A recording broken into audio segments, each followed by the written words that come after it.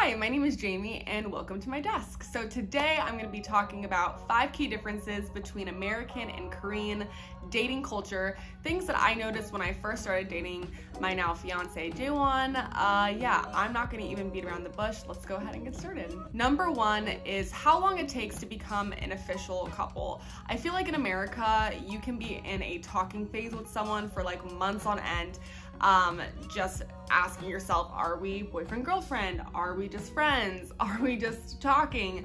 Um, and yeah, that could go on for like months. I know people who have like broken up with people who have just been in the talking phase and they weren't even like officially a boyfriend or a girlfriend and they're like, yeah, we kind of broke up, but not really because we were never really a thing.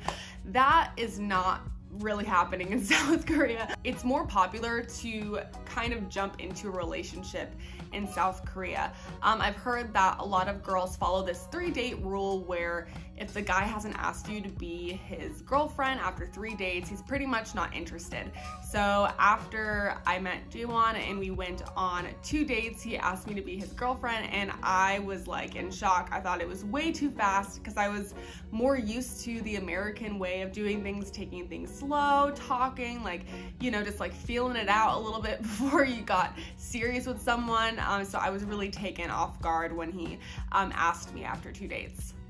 Number two is couple rings. Couple rings are huge in South Korea. Um, after you've been dating someone for like a couple of months, you could get a couple ring with somebody and they're just like matching rings. Honestly, when I first saw them, I thought they were just engagement rings or wedding rings. Um, they almost look identical, to be honest, um, to an engagement ring or a wedding ring in Korea.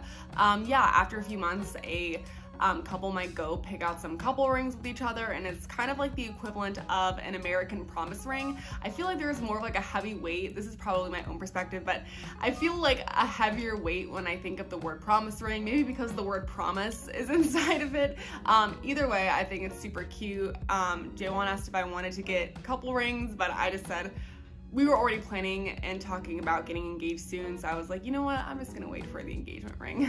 Number three is matching outfits. Matching outfits are super popular in South Korea and I feel like it's, I don't know, maybe considered a little cheesy in America. Some people think it's super cute and other people think it's a little bit too much.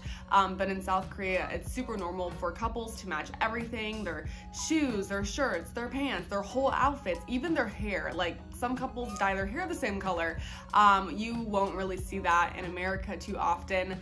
Um, yeah, I honestly think it's one of the cuter aspects of Korean dating culture, but that's just me. Number four is meeting your boyfriend or your girlfriend's parents for the first time. So I learned from Jaewon that you don't really introduce your boyfriend or girlfriend to your parents um, unless you're like dead solid, like that person is the one and you're very serious with that person and then you introduce them to your parents.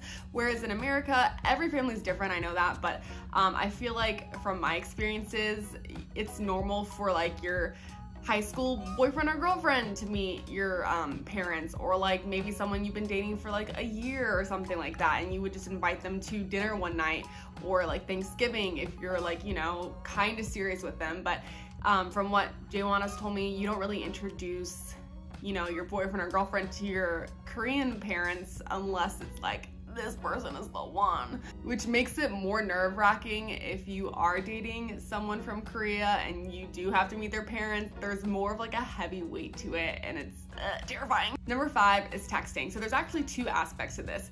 In South Korea, couples text way more than in America. Okay, I'm generalizing everybody, but I'm gonna say for the most part, at least from my experiences, and I know from my friends and other people I know, it seems like uh, South Korean couples will be texting all day long, like back and forth, um, like asking each other how their day was, did you eat, sending each other cute emojis, videos to watch, or pictures or whatnot.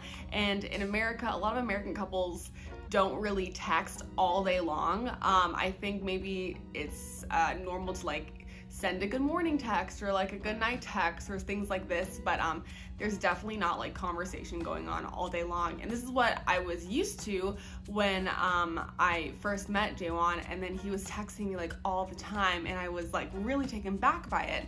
Um, but then I got used to texting and I honestly really enjoy texting a lot now, but um, there definitely was like a learning curve. The second aspect to texting is how many emojis that I was using when I first started texting him. I noticed that um, Jaewon was using a lot of emojis when he was texting and when I went through like my own messages to compare, like I rarely used emojis. Maybe like a crying laughing emoji or like, I don't know, like a smiley face sometimes, but like not as much as he was using. And I later ended up joining Kakao Talk. Um, if you know what that is, it's a really popular like app that a lot of Koreans use to communicate.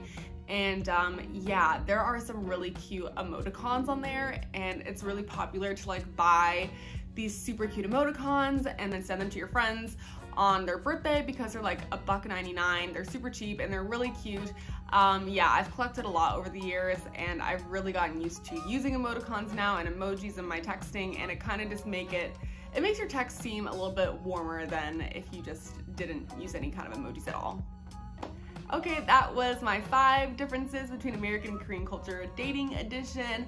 If you liked anything in this video, um, please like and comment and subscribe. Thanks, bye.